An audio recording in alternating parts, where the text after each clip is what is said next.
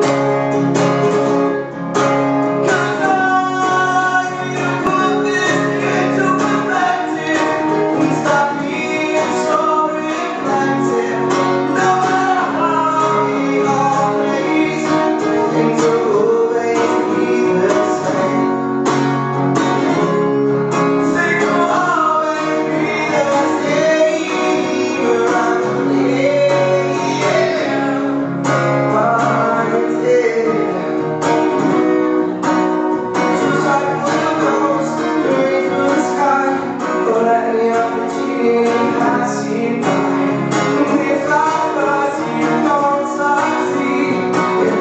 Viva